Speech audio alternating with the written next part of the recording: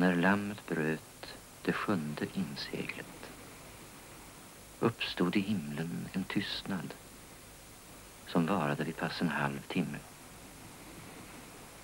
Och de sju änglarna som hade de sju basunerna gjorde sig redo till att stöta i sina basuner. Vänta ett ögonblick. Så säger ni alla. Men jag lämnar inga uppskov. Du spelar ju schack, inte sant?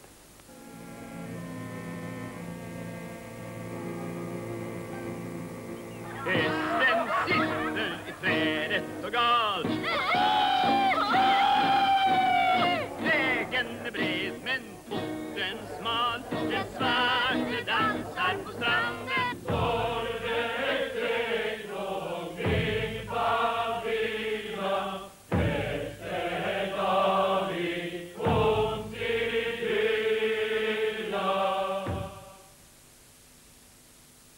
Det sjunde inseglet visar vi nästa måndag. Och det blir den andra filmen i den här Max von Sydow-serien. Den är gjord 1957, manus och regi Ingmar Bergman. Imorgon tisdag så bjuds det på underhållning från Malmö igen. I Marianne Söderbergs sommarkväll så ska det handla om Österlen. Och senare på kvällen 21.50 när sommarnatten är antågande så tar Lasse Holmqvist med gäster vid. Lars försök att göra sin far glad slutar inte alltid i sån här gemytlig samvaro. Nej, ofta har hans försök helt motsatt effekt. Den danska komediserien Far och son fortsätter imorgon 20.30. Och intrigerna och kärlekskarusellen snurrar vidare på Falcon Crest imorgon klockan 21. Vi har ett program kvar ikväll, den fjärde delen i serien Härifrån till framtiden. Programledaren Lars Hansegård, Emil Tengström och tre sakkunniga i en diskussion om välfärden och de växande miljöproblemen. Mm.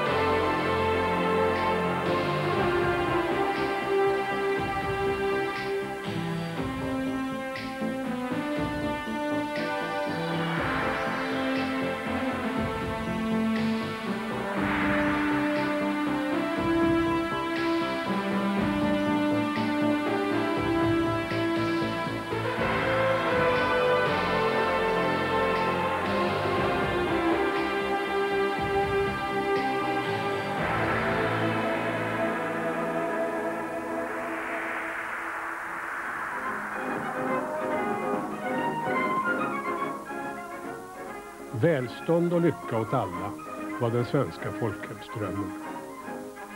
För det krävdes inte bara ekonomisk utjämning utan i minst lika hög grad ekonomisk utveckling.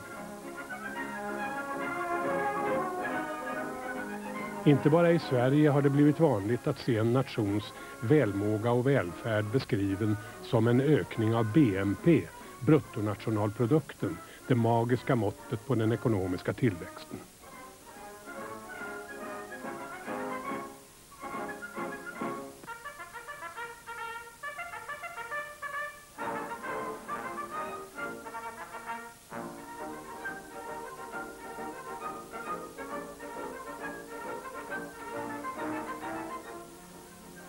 Men på sina håll har det gått snett. I Sovjet och Brasilien har en kraftig tillväxt skapat väldiga problem.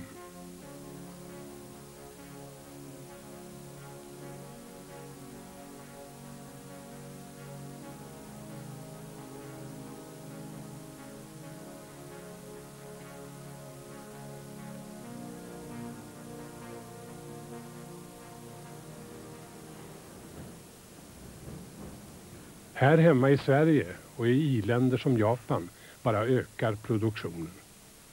Sättet att producera blir mer och mer automatiserat.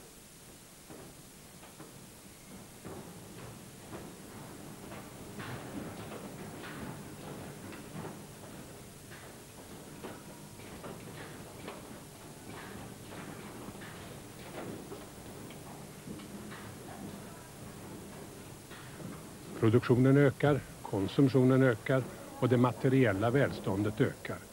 Men blir vi lyckligare för det?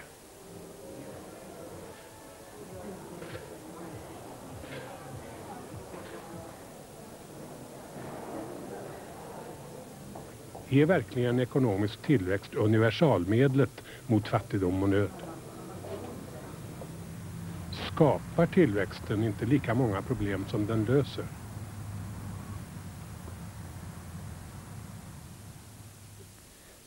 God afton. Ikväll så sitter framtidsdebattören och professorn vid Göteborgs universitet, Emin Tengström här. Och dessutom så finns här en ekolog, en teknolog och företagsledare och en eh, filosof, en docent i filosofi. Och den frågan som vi ska diskutera den lyder i sin grund så här. Är ekonomisk tillväxt det alena saliggörande medlet för att skapa välstånd i framtiden? Vad säger du, Emil? Ja, det är en fråga som väcker många andra frågor. Om det ska vara tillväxt av många nya goda böcker så skulle jag se positivt på det. Blir det en tillväxt av många dåliga tv-program så är det ju inte säkert att man ser lika positivt. Sen kan man ju också säga att tillväxt var eller för vem? Är det här i Sverige eller är det i ett fattigt uland det är frågan om? Din fråga väcker alltså flera andra frågor som eh, vi säkert kommer in på ikväll. Ja, jag skulle vilja, mm, när det gäller den ekonomiska tillväxten, ta upp två perspektiv. Dels eh, ett mer mikroskopiskt perspektiv. Min erfarenhet som företagsledare så har jag den väldigt starka övertygelsen att för att en, en verksamhetsgren i ett företag ska kunna utvecklas och, och, få en positiv utveckling så krävs tillväxt i mikroperspektivet. Det innebär ju när det gäller företagande att vissa grenar de skalar man av precis som man ansade träd. Men det krävs alltid tillväxt för att man ska få en utveckling. Man ska kunna förbättra sina produkter, man ska kunna bibehålla och förstärka sin konkurrenskraft. Går man sedan över i det makroskopiska perspektivet, alltså det storskaliga perspektivet, så är jag också av den övertygelsen att vi måste ha tillväxt i någon form. Människor de ställer krav på förändring. De ställer nya krav när gamla krav är tillfredsställda och det ser vi väldigt tydligt i vårt eget samhälle. Och det tror jag är en del av vårt väsen och det, kommer vi även, det fenomenet kommer vi även ha i framtiden. Men jag tror det är också väldigt viktigt att sätta en gräns för den här tillväxten och eh, det är självklart att miljöaspekterna sätter en gräns. Tillväxten får inte innebära att vi bara ohejdat fortsätter att förbruka råvaror och energi. Där finns gränsen. Men jag ska komma tillbaka senare och förklara att jag tror inte det i sig förhindrar ekonomisk tillväxt att man sätter den gränsen. Ann-Marie? Ja, jag har väl i, där, i stort samma åsikt som du där. Att eh, det är viktigt att man ser på vad är det för typ av eh, tillväxt vi menar. Och för mig är det väldigt viktigt att man skiljer på vad som är eh, tillväxt, ekonomisk tillväxt och vad som är ekonomisk utveckling. För jag tycker att eh, där glider begreppen lite grann. Och eh, för mig finns det, som för Lars här, en tydlig eh, begränsning, en yttre begränsning för hur stor en ekonomi kan växa i materiella termer. Men eh, samtidigt så tror jag i varje fall inte att det finns någon gräns för hur kvalitativt bra den kan bli. Um, och eh, det tycker jag alltså är väldigt viktigt att vi särskiljer det. Torbjörn? Ja, frågan rör ju ett samband mellan två saker. Du frågar om ekonomisk tillväxt är alena saliggörande eller om den leder till salighet eller välfärd eller någonting sånt över tanken då. Och då måste man ju också problematisera lite målet då som det skulle leda till eventuellt eller inte leda till. Och det är väl en fråga jag tycker vi borde komma in på i det här samtalet. Det är en fråga som normalt väl brukar diskuteras av gymnasister och moralfilosofer på allvar men kanske inte av andra. Alltså det är frågan om livets mening. Och på något vis så kan man inte, tror jag, avgöra frågan om ekonomisk tillväxt är av värde med mindre än att man också går in på den frågan lite lycka, helt djupare. Ja, är det till exempel lycka? Eller är det som jag tror att du vill antyda, Lasse, är det mer en fråga om att man får sina önskningar tillfredsställda, sådana som de nu råkar se ut och så vidare. Det, det är sådana frågor som jag tror man måste problematisera. Men sen är ju då frågan eh, naturligtvis också vad man menar med ekonomisk tillväxt. Och eh, om vi tar din innebörd då att eh, det är någon sorts kvalitativ tillväxt, att vi, att vi utvecklar vår livskvalitet eller någonting sånt med hjälp av ekonomiska medel men inte tär på knappa naturresurser och sånt där. Då är det svårt att, att säga nej till ekonomisk tillväxt. Till exempel Marx idé om till, ekonomisk tillväxt, att produktivkrafterna tillväxt. alltså vår kapacitet att göra saker och ting, inte omfånget på vår produktion eller sånt där, men vår förmåga att med en liten arbetsinsats åstadkomma mycket. Att det där tillväxer, det verkar, tycker jag, väldigt sympatiskt och säkert ett medel till ett gott liv också.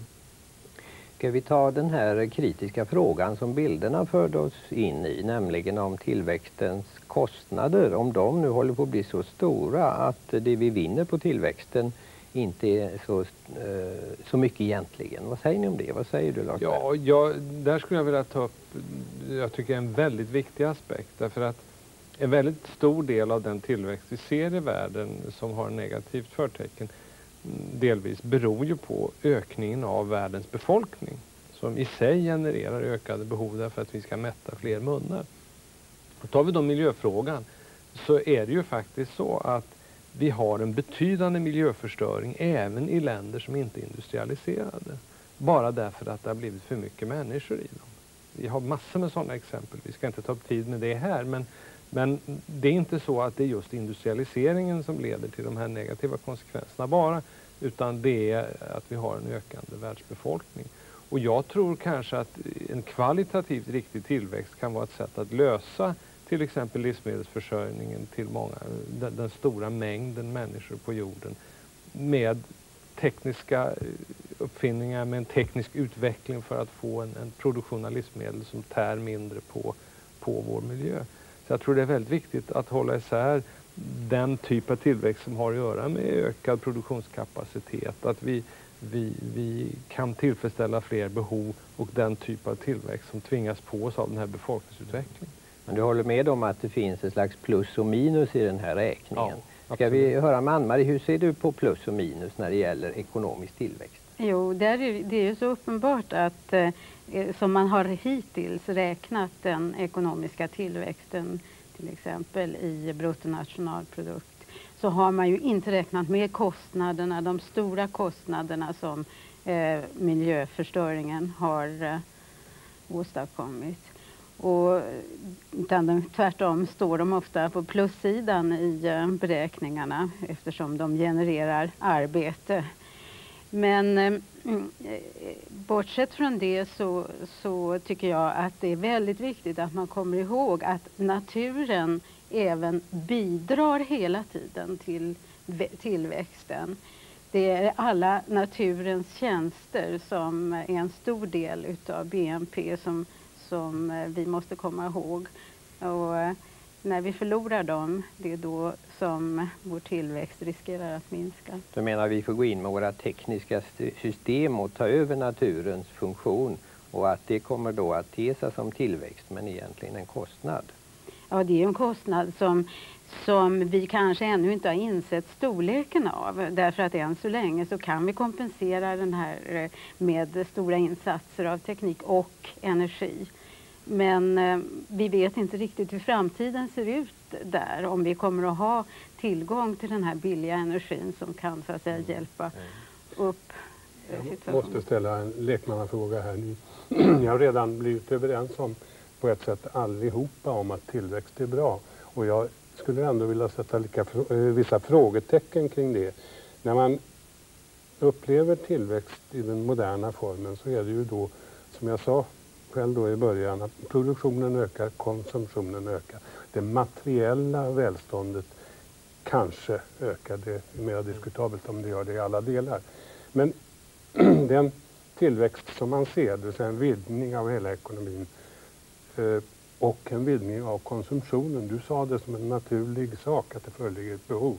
Jag upplever ju personligen och andra människor som jag pratar med eh, något diskutabelt i själva detta påstående att det, föreligger, att det finns behov för det vi producerar helt enkelt. För när man iakttar den moderna eh, västerländska industrilandet som tillverkar prylar helt enkelt av olika art så ser man ju en komplikation i detta att man för det första skapar nya behov, att man planerar för nya behov, att konsumtionen i viss, häng, viss mån är avhängig av produktionens önskemål. Att den inte egentligen fanns där förut. Eh, behovet fanns inte men skapades av vilja från den producerande sida. Och det ser man ju också på ett speciellt område som då har blivit mycket modernt att tala om, nämligen slit och slängprincipen. Såg man till människans yttersta lycka kanske man skulle vilja ha den där mannen i vita kostymen som aldrig, aldrig går sönder. Men den vita kostymen blir ju inte producerad. Den absolut hållbara bilen blir aldrig producerad. Varför inte det? Ja, det kan man diskutera. Det finns olika skäl till. Man kan också säga att folk vill inte ha samma bil hela tiden. Men det är ju alldeles uppenbart att vissa produkter görs för att förbrukas och slängas. Att vissa produkter tillkommer för att man ska ha någonting att sälja.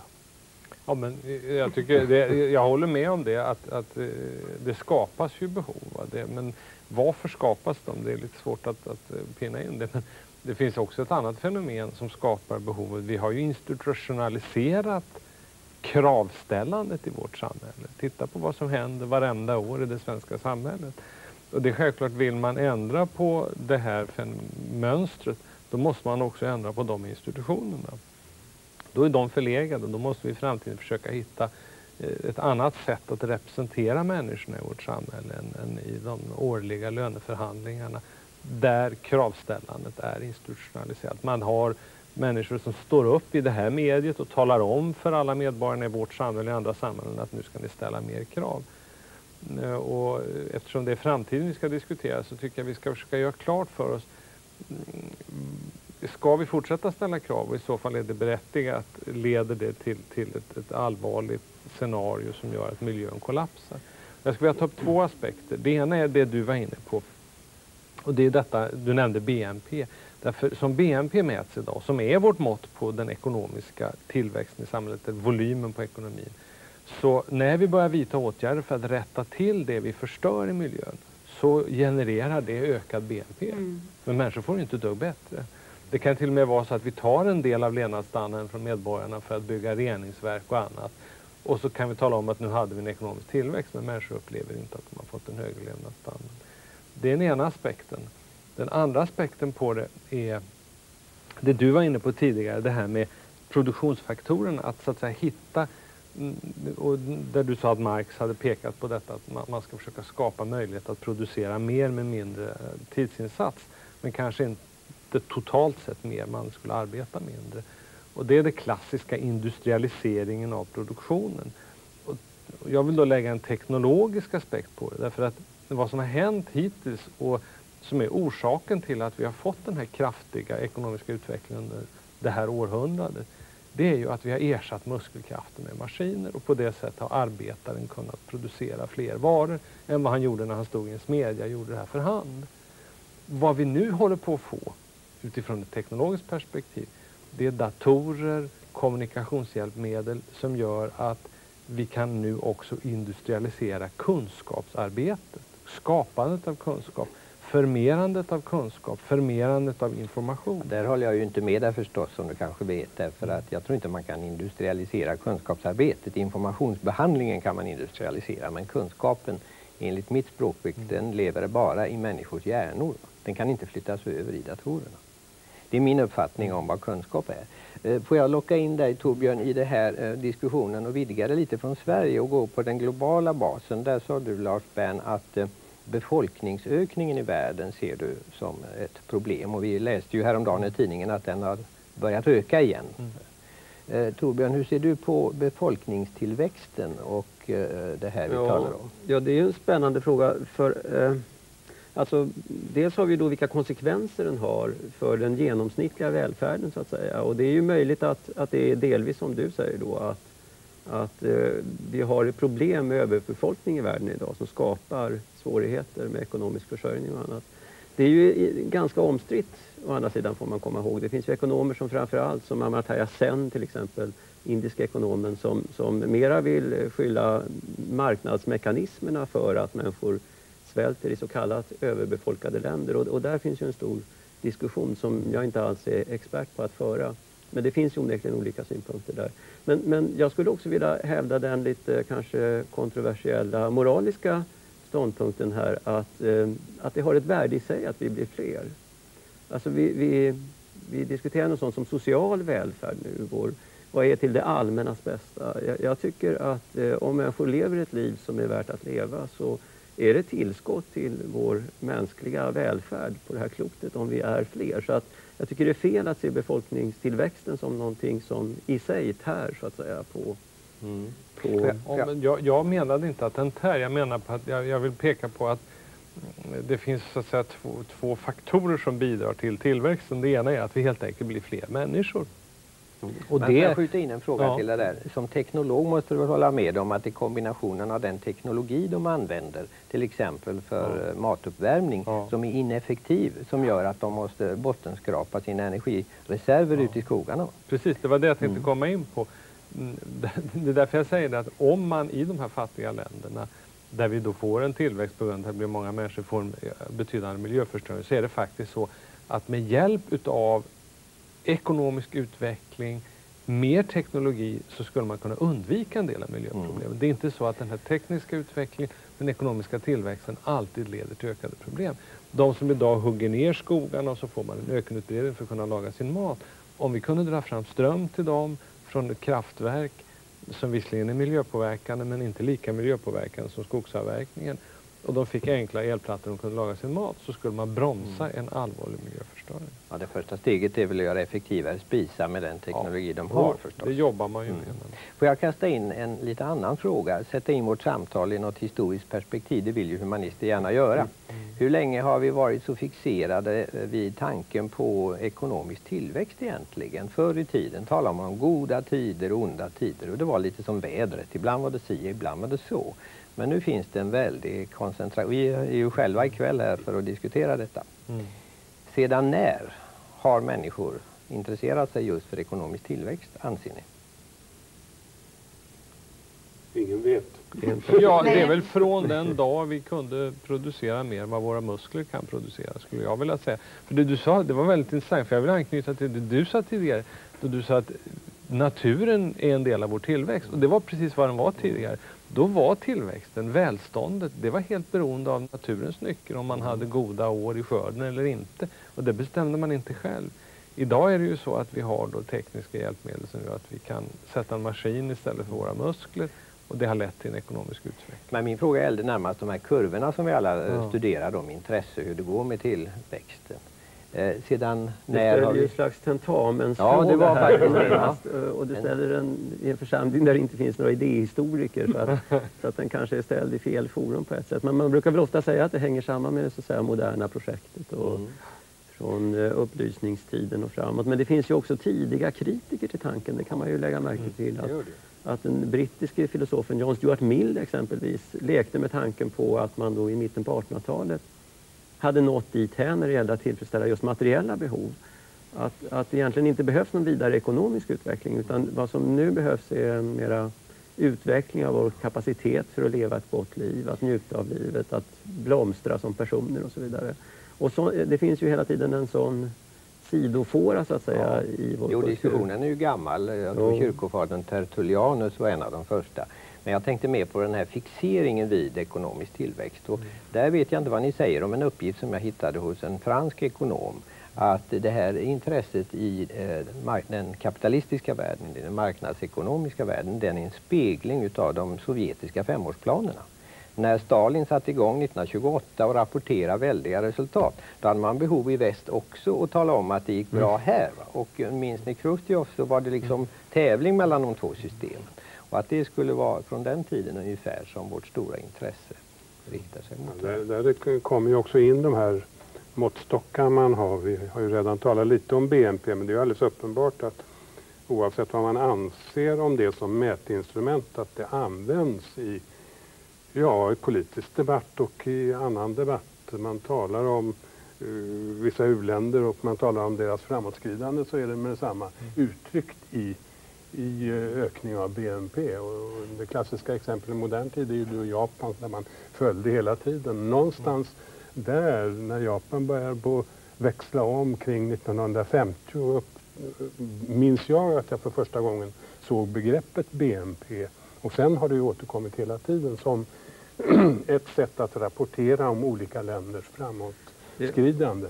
Det har ju skett en förändring i ekonomisk doktrin i, i de här grundläggande värdefrågorna som kanske spelar roll här också. Alltså den klassiska nationalekonomin den var ju inriktad på det här med lycka som du talade om tidigare. Medan den neoklassiska, den som är dominerande idag, talar mer om behovs eller önskeuppfyllelse, att man har preferenser som ska tillfredsställas.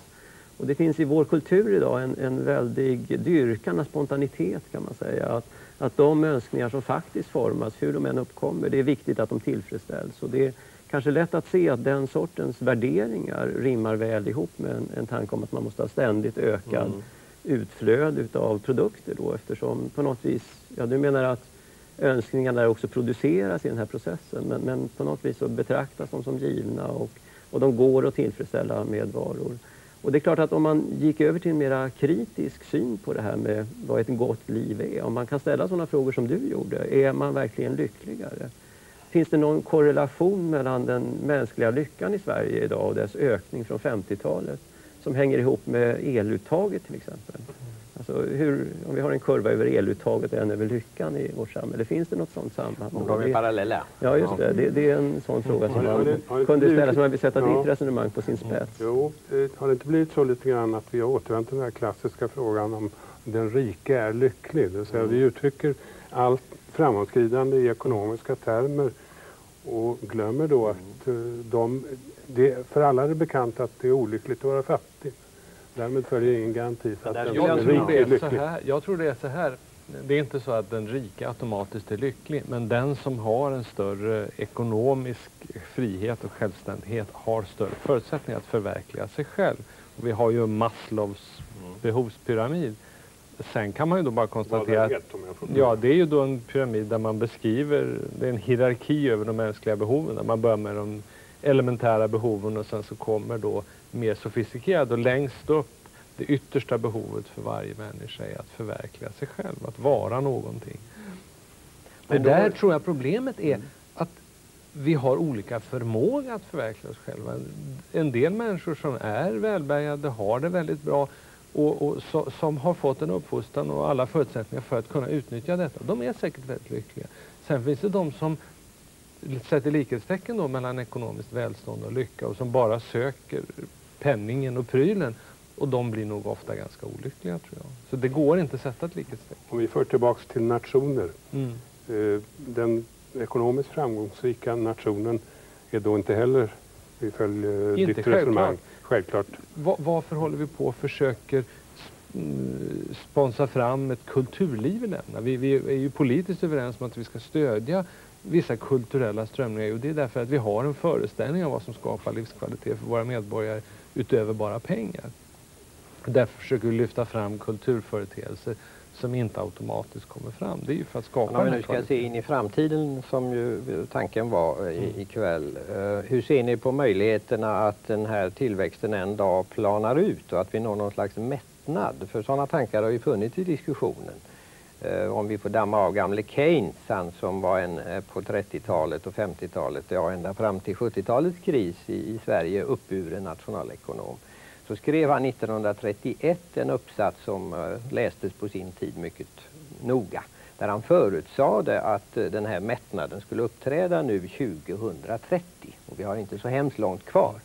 Men i samband med det sa han också att när detta inträffar så finns det risk för eh, psykiska problem för mänskligheten när man inte längre kan definiera materiella mål.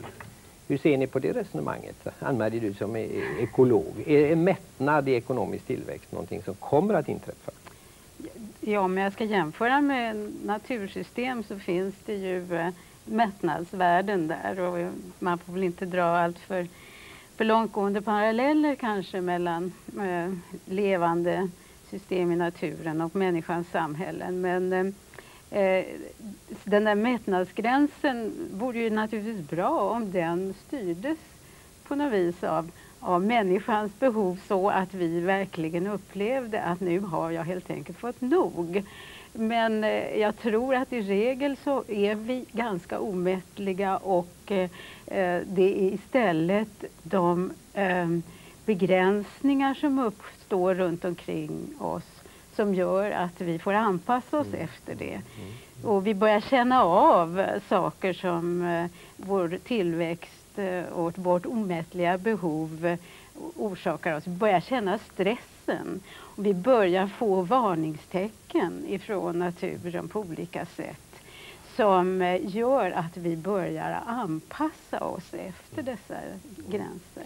Om jag tolkar det rätt så tror du alltså inte på en naturlig mättnadsnivå utan det kommer istället, eh, gränserna kommer vi att tangera eller närma oss och det kommer att bromsa upp. Vad säger ni andra om det? Finns det gränser för tillväxten? Nu låter ni börjar låta som Romklubben. Jag där. tror inte det. Nej, jag tror absolut inte Nej. det. Jag, och jag vill komma tillbaka till, vi, vi hade en liten polemik om kunskap, om det mm. gick att industrialisera kunskap.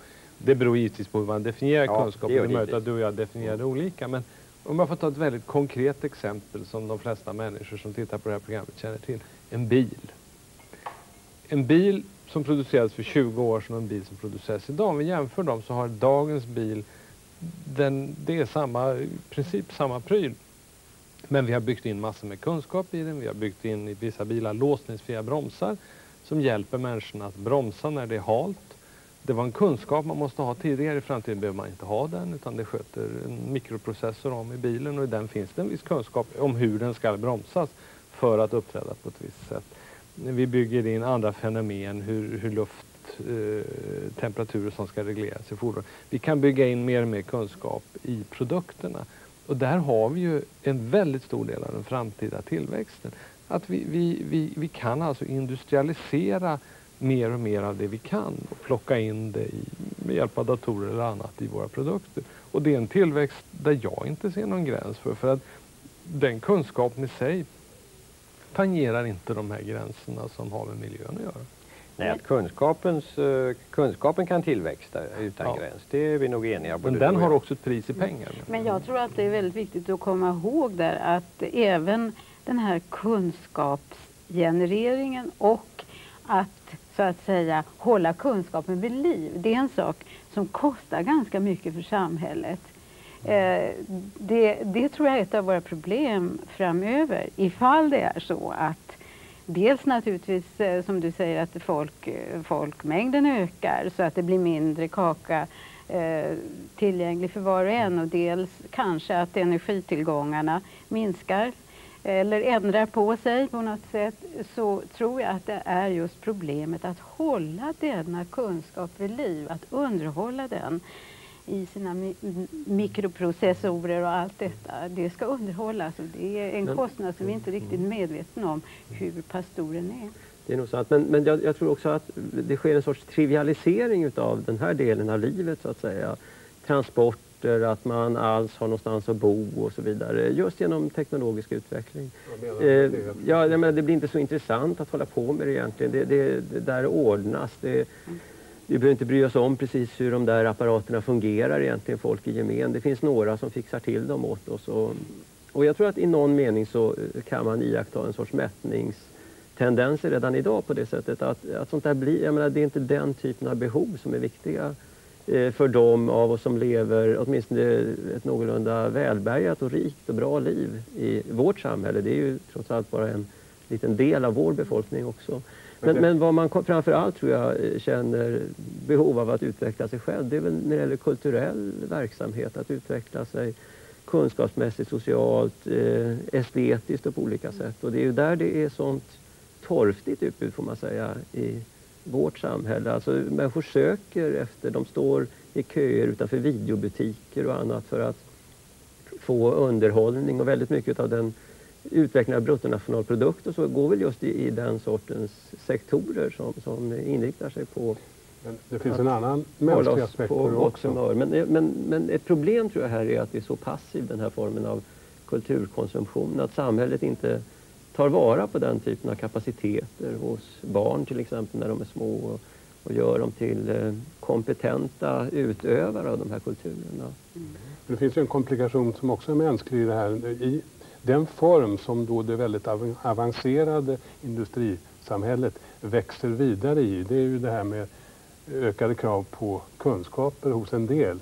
Överhuvudtaget det, där, det där utvecklingen sker, den högteknologiska utvecklingen. Och det har ju väldiga sociala konsekvenser. Eh, Själva arbetsmarknadssituationen blir en helt annan. De Alltså jag vill alltså inte påstå att själva den teknologiska utvecklingen där har de sociala konsekvenserna utan det är i ett bestämt socialt sammanhang. Ja, men det blir en förändring Jo. på arbetsmarknaden. Jo, visst. Vad slags människor kommer att ha betydelsefulla arbeten. Ta det du sa om Ja, men tri- betyd- trivialiseringen. Betydelsefulla arbeten säger du. Jag menar, varför är det så Ekonomiskt. betydelsefullt att utveckla Men datorer det, till exempel? ta det du sa om trivialiseringen och det jag sa om bilen. Därför det är en, om vi lägger ihop de två resonemangen så får vi en väldigt intressant aspekt. Det är ju det att för 20 år sedan då kunde vem som helst köpa en bil, och stå på, på sin garagebacke och skruva i den där och klara av den själv om det blev något fel på den. Idag kan han knappast det och om ytterligare 20 år så kommer det vara någonting. Jag bryr mig inte om det för jag begriper ännu inte vad det är. Det är en massa datorer och grejer. Man kan inte greja det där själv. Så det är ett problem. Och den blir ett transportmedel istället. Och Men- vi kan inte leva vi- ut liksom vår personlighet i vår bil genom att mecka med den och sånt. Då, då måste vi göra någonting annat. Och där tror jag det finns oändliga Men expansionsmöjligheter innan vi i går in på mänsklig... de här humanistiska aspekterna som jag gärna deltar i. Kan vi inte klara ut det här med gränserna i alla fall? Du var inne på det Lars i början att du såg ändå någon typ av gräns när det gällde energianvändning och, Ja, och, och jag, jag ser absolut, och det, jag delar din uppfattning. Jag, jag menar, vi kan energi. Vi kan inte fortsätta öka vår förbrukning av mineraler. Vi måste återvinna, vi måste ekonomisera, vi måste ta ut vår utveckling på ett sådant sätt så att inte det här ökar. För bara det faktum att jordens befolkning ökar innebär, och vi vet ju att allt det här blir så småningom miljöpåverkan. Men det gör att du bedömer att Industriförbundet är ute och cyklar lite när de är nervösa nu när två kärnkraftverk ska stängas av. Nej, det, det gör jag inte därför att jag tror att om vi tar ett, om man diskuterar med mina kollegor ute i industrin så är vi alla med på en utveckling som innebär att vi på några årtionden sikt vrider den här kurvan neråt. Det enda man är kritisk mot det är det sätt på vilket man vill göra det och sen tycker vi att man gör det i fel ordning och man börjar i fel ända. Men vi ska inte komma in på den debatten nu Nej. för då bär det iväg. Men jag skulle vilja ta upp en helt annan aspekt där vi verkligen ser en begränsning i utvecklingen och det är det urbana samhället. Världens storstäder håller på att stryper sig själva. Och det är fullständigt bortsett från miljöproblemen som skapas, låt oss lägga dem åt sidan. Men det är bara att titta på alla dessa bilköer som växer. Människor sitter längre och längre del av sin vakna tid i de urbana eh, centrarna i bilköer eller i andra transportmedel. Och där måste det komma en förändring. Och där har vi, det är ju en politisk fråga, det här går ju att göra någonting åt. Men fortsätter vi ha den här typen av samhälle, då sätter vi ett lock på tillväxten. Eh, Men du menar att om vi kan ändra städernas utveckling så kan Ja. alla människor få åka bil i alla fall? Nej, det är inte självklart att de inte? behöver åka bil. Bilen är ett väldigt klumpigt kommunikationsmedel. Och jag är av den övertygelsen att man ska försöka ersätta bilar och, och, och loka, andra lokala färdmedel med telekommunikation, datakommunikation. För väldigt mycket av det de här människorna som åker i sina bilar in till citykärnorna ägnar sig åt, det är att utbyta information. Och en stor del av det kan göras med mycket, mycket mindre tids och resursinsats. Men du är medveten om att trenden just nu går i motsatt riktning Ja, vet det, trots ja. att de tekniska Ja. förutsättningarna är skapade. Ja. Vad ska vi göra åt det då?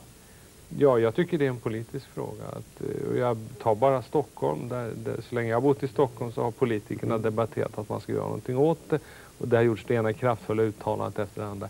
Hittills har, har det inte gjorts någonting åt det. Torbjörn, du bor inte i Stockholm men Nacka eller någonstans Ja, just det. Vad har du för synpunkter på det här? Jo, nej, jag, jag konstaterar till min förtjusning att vi är helt överens där. Både i att, att eh, vilken typ av lösning som måste till och också just att det måste ske på politisk väg. Därför att här, är det, jag menar, här hjälper ingen sån här eh, dyrkan av spontaniteten. Vi kan alla individuellt ha goda skäl för att ta bilen in till jobbet. Vi kan komma lite snabbare till jobbet även om det är igenkorkat genom att ta den. Och det är rationellt för varje enskild individ att resonera på det sättet. Men, men eh, när alla gör det så blir det resultat som är illa för alla. Och, och här måste man alltså på något vis eh, ha en reglering. Man måste ha ett storskaligt, tror jag, kommunikationssystem som och samtidigt är flexibelt.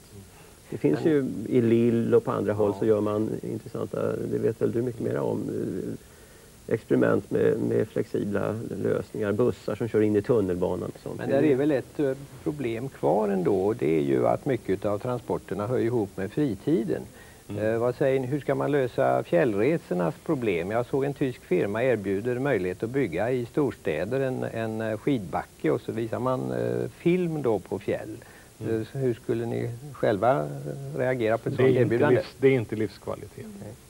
Men då blir eh, fritidens transporter eh, är fortfarande kvar som ett eh, bekymmer. Jag säger, som företagare så, så ser jag det urbana problemet som ett kostnadsproblem. Jag, jag menar, vore det här en fabrik, en produktionsapparat som såg ut på det här sättet, då skulle jag gå in och vidta kraftfulla åtgärder för att göra någonting åt det. Men, men samhället, samhället måste se logistiskt på det här och försöka göra. Logistiskt, det var ett svårt ord. Ja, logistiskt, det är när man försöker organisera sin produktion så att man får ett smidigt flöde av varor eller komponenter vad det är, genom en fabrik så att det blir en rationell Men om du produktion. hade makten i Stockholm då skulle du sätta väldigt höga priser på parkeringsplatser till exempel. Ja, jag skulle vidta en mängd åtgärder. Jag skulle börja med att bygga ut en, en mycket, mycket bättre infrastruktur vad gäller tele och datakommunikationer och se till att det, det fanns förutsättningar för att ändra strukturen. Sen skulle jag vidta åtgärder för att minska bilismen i Stockholm, också kraftfulla sådana. Men Men du pekar ju på en naturligtvis allvarlig ny källa också till bilism när du tar upp det här fritidsåkandet som väl utgör en ganska betydande del redan och som kan antas utgöra en växande del utav Säkert. kommunikationsbehovet. Och det, man kommer att ställas inför likartade frågeställningar där alltså. Jo, men det, det, det är inte det som är det stora problemet i citykärnan. Men ska vi ändå hö inte höra med Ann-Marie här om, om gränser för tillväxten nu? Bortsett då från det urbana som vi nog är ense om, som- som det förefaller. Jo, jag, eh, jag tänkte väl bara just i samband med det här med, med städernas tillväxt eh, säga att vi, vi eh, har ju väldigt tydligt där eh, det här att man förtätar städerna, drar in mer och mer folk och bilar dit och att man eh, då förlorar en, hel del utav den här eh, naturens kapacitet att till exempel ta hand om de här luftföroreningarna som finns där från början. Men i och med att man överskrider den gränsen så får man olidliga förhållanden. Som ju, det finns ju exempel i världen på att man har verkligen nått över, ovanför det tolerabla när det gäller till exempel luftkvalitet. Och det, det har ju att göra med bland annat att man inte har eh, tagit hänsyn till de av naturlagarna skapade eh, yttre gränserna för att föra bort och processa de här föroreningarna. Sen kan man ju hjäl- avhjälpa det tekniskt men det är ju ganska dyra. jag- Men du skulle vilja späda ut befolkningen över ytan då så att det var lättare att ta hand Ja. om luftföroreningarna som de ger upphov Eh, Det till? måste vara en balans mellan de naturliga som jag kallar för produktionssystemen. Det är alltså den levande naturen och det är jordbruksområdena, det är skogarna och de bebyggda områdena. Där, eh, eh, det måste alltså även i eh, en stad finnas en viss balans mellan bebyggd yta och eh, eh, levande natur. Men, eh, om vi ser in i framtiden, för det är ju tanken vi ska göra här. Vi talar om dagens problem och vi talar om de konsekvenser som de eventuellt kan få. Ni verkar inte speciellt optimistiska om att detta kommer att förändras tycker jag ändå. Ni hänskjuter det till politikerna, talar om att det måste göras någonting. Men tror ni att det kommer att ske? Ja, jag är helt övertygad om att en del kommer att ske spontant. För jag tror att, som jag sa tidigare, jag ser en ny teknologisk ära. Jag är ju tekniker så jag ser ju väldigt mycket ur den aspekten. Vi har nu haft den industriella, industriella äran, som jag vill kalla den äran, när vi har använt maskiner för att förmera människornas muskelkraft.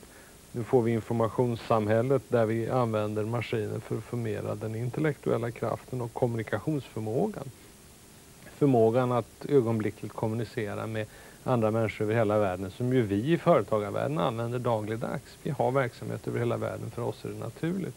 Och vi använder de här moderna kommunikationsmedlen och det gör att vi blir effektivare och effektivare i att bygga upp världsomspännande organisationer. Vi bryr oss inte längre särskilt mycket om nationalstaten utan vi, vi specialiserar oss på ett område och sen bygger vi upp ett nätverk över hela jordklotet och det vore ju inte möjligt om vi inte hade de här tekniska hjälpmedlen.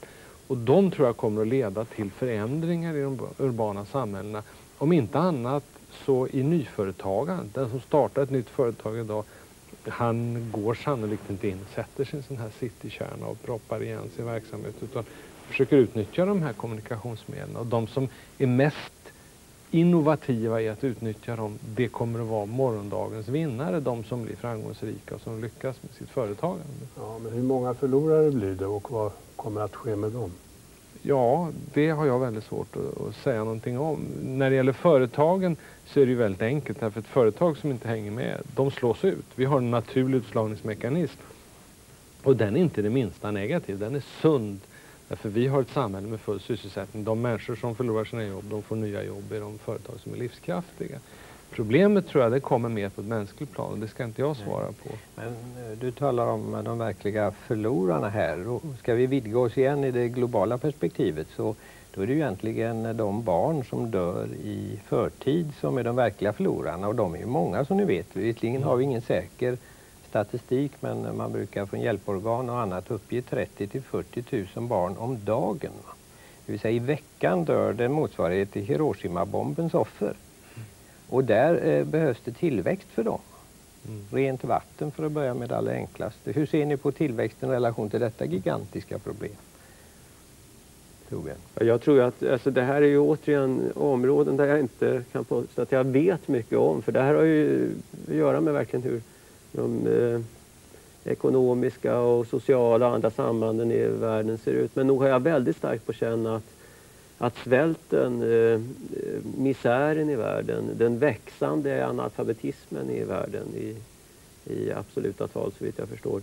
Att, att det här framförallt är en fördelningsfråga och inte en fråga om, om, eh, om att vi ännu inte har nått dit hän där vi kan försörja hela befolkningen. Jag tror att det finns sociala och politiska eh, orsaker helt enkelt eh, till misären. Så att jag tror att på ett sätt är den frågan lite irrelevant för frågan om, om tillväxt. Eller jo, men om vi kopplar ihop det med vad Lars sa alldeles nyss att nationalstaterna kommer att betyda mindre. Då blir också vårt ansvar på något sätt vad vi gör här för de barnen ja, visst, alltså det, finns, ja, det finns väl väldigt stora risker överhuvudtaget i den ekonomiska utvecklingen idag om man tolkar inte bara rent ekonomiska termer utan i makttermer. Det är givet, alltså transnationaliseringen, de här större företagen som blir allt friare samtidigt gentemot, inte bara mot stater, nationalstater som du säger, utan just emot demokratiskt eh, tillsatta politiska organ. Om det blir en obehaglig eh, investeringsavgift till exempel så flyttar man från Sverige istället för att betala sin avgift och så vidare. Man får en utpressningsposition gentemot eh, det demokratiska samhället och, och där ligger naturligtvis väldigt stora risker och de har, de har ingenting direkt att göra med själva tillväxten eller själva den ekonomiska processen. Men, men de följer naturligtvis av de här sociala eh, situationen vi befinner oss mm. i, tillsammans. Men är det, inte, det är inte så att den tillväxt vi talar om i i-länderna sker direkt på bekostnad av u-länderna? Eh, och att därmed vi det, det, är väl, det är, alltså, kanske, jag vet inte, man kan diskutera hur stor utsträckning det är så att vi verkligen tar hit resurserna och konsumerar dem. I viss mån gör vi ju det i betydande utsträckning i vissa länder och så vidare. Men det är klart den stora internationella exploateringen består i att vi sätter sprätt på resurser som aldrig någonsin skulle kunna eh, fördelas jämt i samma utsträckning som vi bränner av dem så att säga. Man kan inte tänka sig att alla världens invånare skulle kunna ha samma energiuttag som vi har per capita till exempel. Jag skulle vilja polemisera mot några av de saker du sa. Det här med att eh, de stora företagen är ett hot mot de demokratiska systemen. Det är självklart om, om man ser det här ur en snäv nationell politisk synvinkel så innebär det ju att, att de politiska organen i nationalstaten Sverige kommer att få svårare och svårare att styra de multinationella företagen, antingen de är svenska eller utländska. Utan de blir i ordets rätta bemärkelse organisationer med en internationell inriktning. Men det finns ju en annan, på den fria marknaden finns ju en annan demokratisk process och det är att vi har konkurrens. Jag menar den som producerar en vara, han låter ju människorna på marknaden rösta på honom eller henne varenda gång man går och gör ett val det, det, man det är väl lite en annan fråga. För ta det här om vi vill uppställa restriktioner som har med Mm. miljö att göra eller vill ha regionalpolitiska begränsningar Mm. för den fria marknaden När det gäller miljö så jobbar Tror, ju... tror du inte att i så fall är företagsledare i Sverige idag beredda att säga att jag menar, de där avgifterna betalar inte vi? Nej, vad, vi gör istället, istället. vad vi gör istället, jag sitter ju med i ett internationellt organ för eh, världens industri som heter Internationella handelskammaren. Och där jobbar vi mycket aktivt för att få regler som är likformiga över hela världen. Se till att vi har konkurrensneutralitet. Och vi går ut med starka rekommendationer till de olika länderna att man ska ha klara regler. Vi ska, vi ska ha en industristrategi som inte bygger på att vi förstör miljön men vi ska se till att den genomförs i alla andra länder. Och jag kan i förlängningen se framför mig länder som försöker skapa frizoner där man tillåter ohejdad miljöförstöring. Att man kommer att vidta handelsrestriktioner mot dem på samma sätt som vi vidtar handelsrestriktioner mot andra länder av andra skäl idag.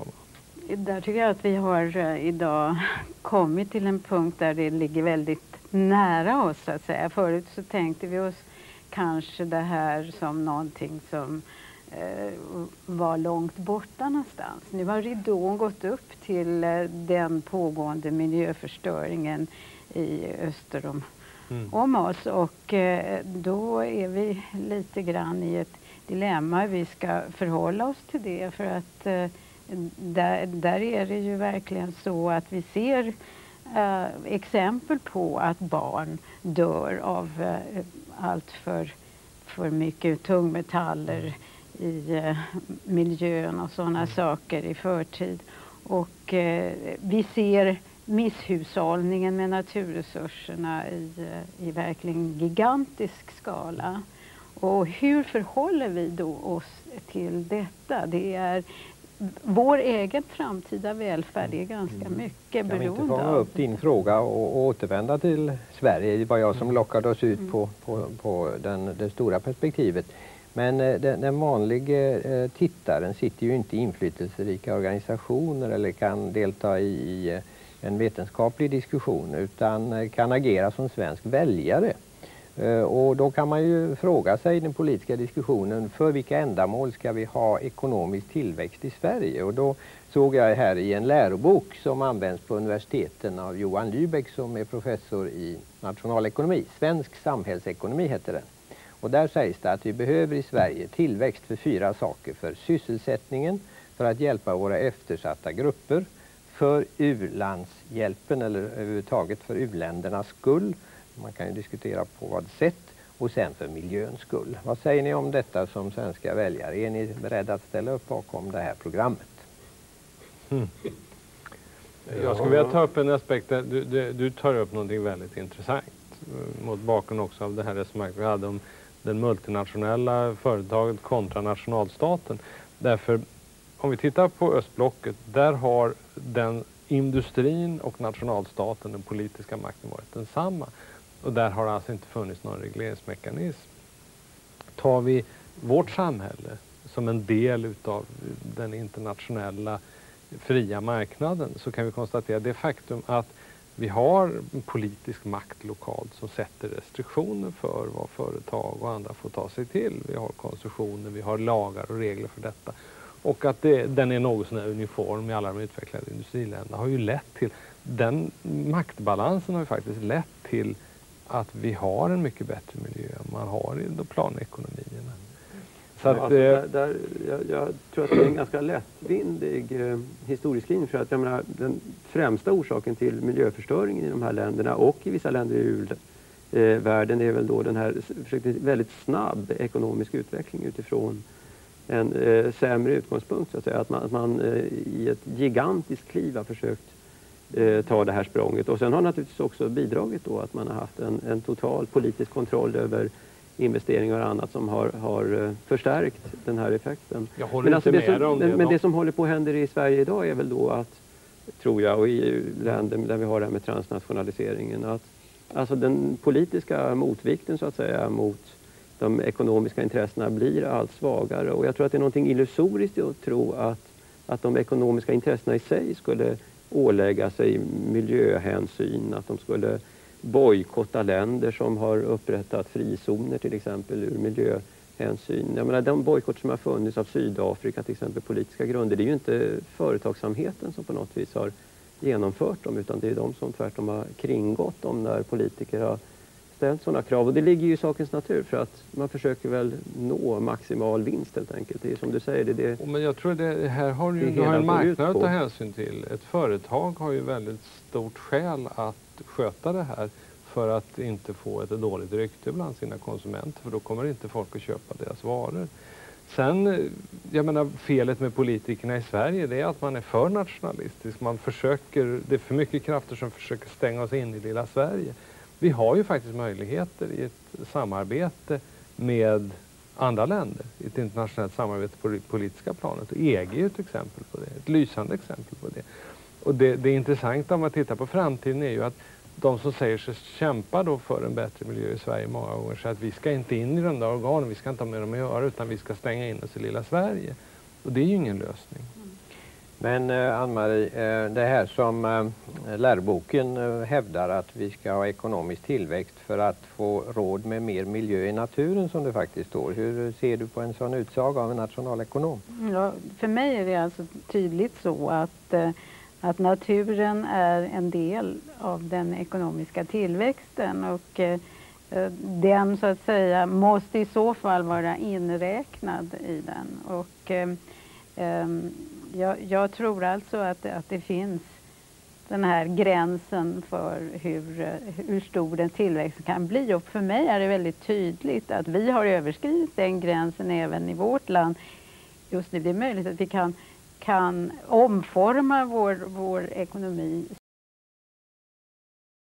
och fortfarande lika stor men, och med tekniska lösningar och så. Men vi lurar oss ofta på, på eh, grund av att vi har förutsättningar så att säga, som jag var inne på tidigare, att kompensera våra, våra problem med att dra in resurser långt bort ifrån. Vi, köper ganska billiga produkter ifrån andra delar av världen. Råvaror som borde, om man alltså räknar deras egentliga värde i det naturliga systemet, ha ett mycket högre pris. De betalar vi relativt, eh, de får vi relativt billigt.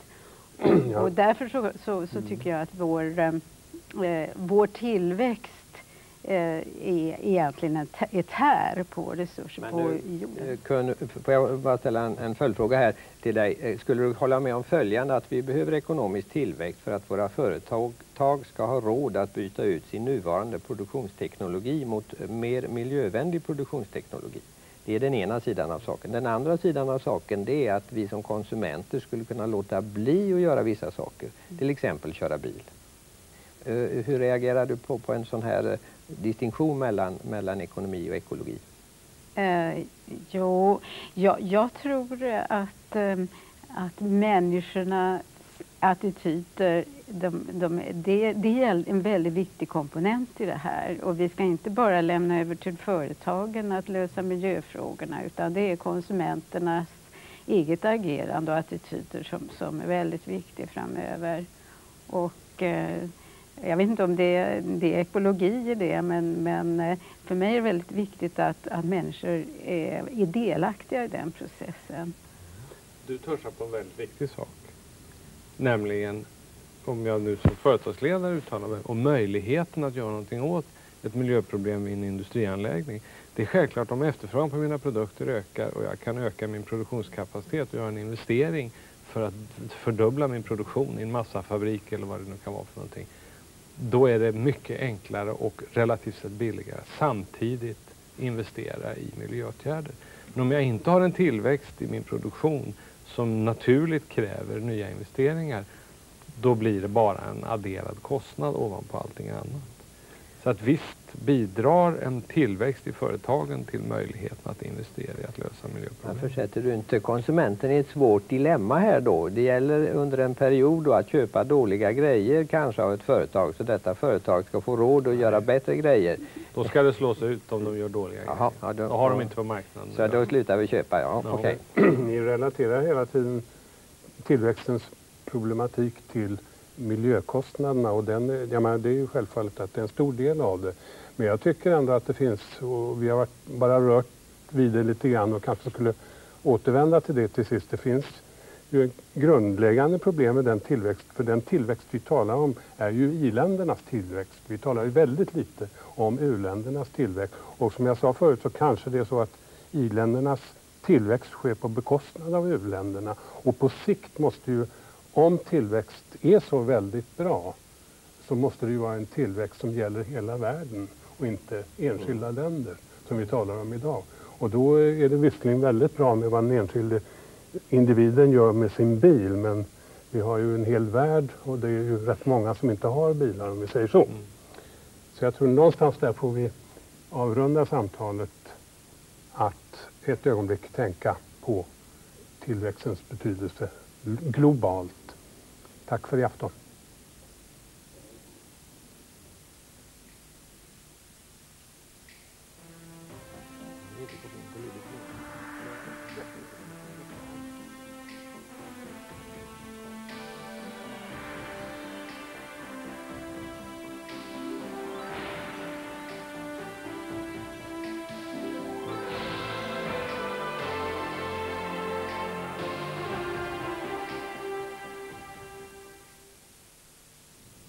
Det här programmet sänds i repris imorgon 16.30.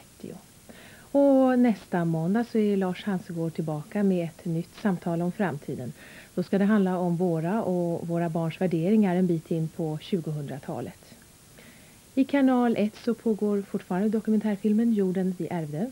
Här i Sverigekanalen så tackar vi för oss och önskar godnatt.